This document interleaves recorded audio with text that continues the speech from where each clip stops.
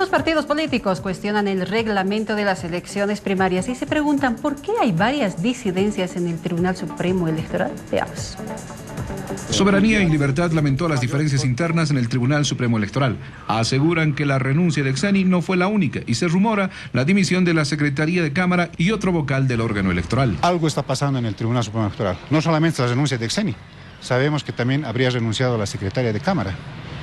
Y está viniendo otra renuncia importante dentro del Tribunal Supremo Electoral. Mientras tanto, el Tribunal Supremo Electoral, a través de una nota publicada en su portal web, confirma que en medio de la aprobación del reglamento específico para las elecciones primarias de candidaturas de los binomios presidenciales, existieron junto a Katia Uriona otros dos vocales que presentaron observaciones, Antonio Costas y Dunia Sandoval, ambos en desacuerdo con la formulación de los artículos 1940, además de otros dentro del texto. Sobre estas observaciones, finaliza la nota, cualquier ciudadana o ciudadano está libre de demandar las inhabilitaciones correspondientes, tal cual lo hizo Unidad Demócrata este lunes.